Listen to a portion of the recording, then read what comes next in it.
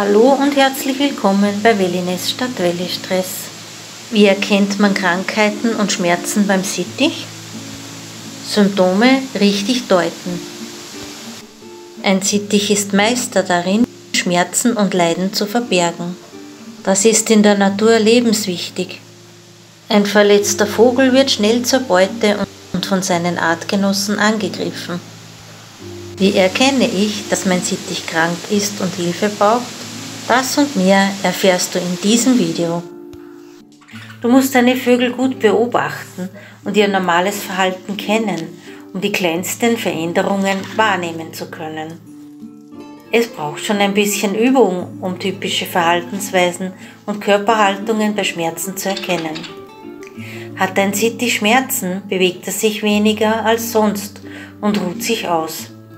Je nachdem, welcher Körperteil schmerzt, verhält sich der Vogel anders.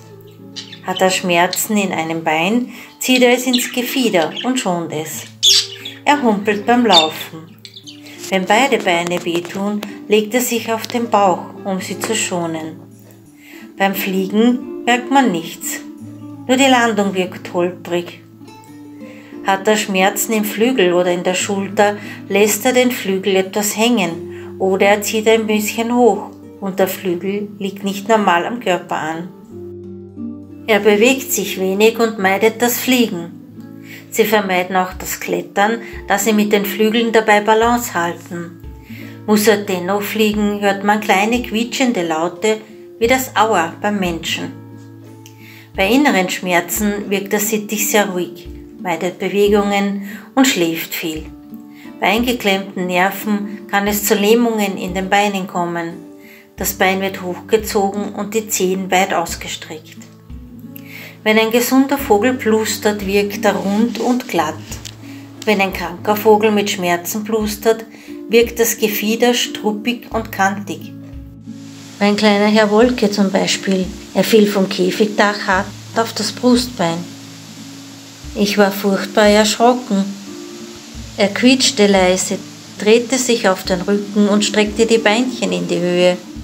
Drei Tage saß er dann mit struppig aufgeblustertem Gefieder ruhig im gepolsterten Käfig, bis die Schmerzen besser wurden. Bis alles wieder gut war, bekam er Hausarrest. Hat dein Piepser Schmerzen, erkennst du das auch an den Augen.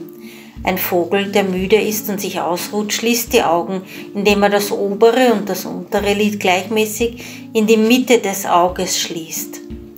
Ein leidender Vogel zieht das untere Lid hoch, so wie ein Mensch die Augen zusammenkneift, wenn er Schmerzen hat.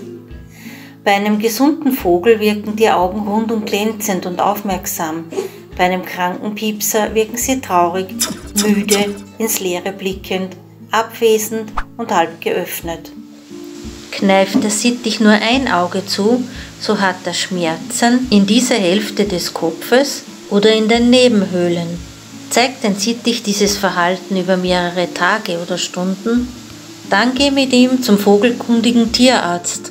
Verletzungen sind meistens offensichtlich durch Blutungen, Hinken oder hängende Flügelchen. Bei Softem, einem blinden Bruchpiloten, war die Verletzung sofort offensichtlich. Er hat sich die Handgelenke an den Flügeln gebrochen, als er das offene Fenster in die Freiluftpoliere verfehlte. Beide Flügeln bluteten und ich brachte ihn sofort zum vogelkundigen Tierarzt. Der Bruch ist verheilt und er kann wieder fliegen. Er wird aber zunehmend flugunfähig wegen der starken Kallusbildung und sitzt jetzt im Käfig, um sich nicht wieder zu verletzen. Auch viele andere Krankheiten kann man durch das Verhalten des Vogels erkennen. Andere Anzeichen sind nicht so auffällig. Zum Beispiel trinkt der Vogel mehr als sonst, frisst vermehrt und wird trotzdem immer dünner, wendet sich von seinem Partner ab und will nicht mehr so viel schmusen, ist plötzlich zahmer und lässt sich streichen, wenn er es vorher nicht wollte kann sich vor Müdigkeit kaum noch auf der Stange halten oder wird zunehmend dicker und fauler. Andere Anzeichen einer Krankheit können sein Schwanzwippen, knackende Atemgeräusche, bräunlich verschmierte Federn über der Nase, ständiges Niesen und schweres Atmen. Wirkt eine Sittichhenne erschöpft, sitzt breitbeinig da und hat offensichtlich Schmerzen, hat sie Legenot. Sie muss sofort zum vogelkundigen Tierarzt. Ein kranker Vogel hat Untertemperatur, kein Fieber. Er hat kalte Füße, plustert und friert.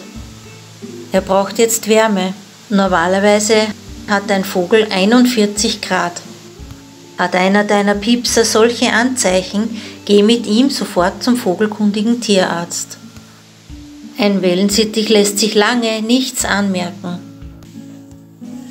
Liegt er auf dem Käfigboden oder versteckt sich irgendwo, kann es sich nicht mehr auf den Füßchen halten und sie ballen sich krampfhaft zu Fäusten, ist es zu spät.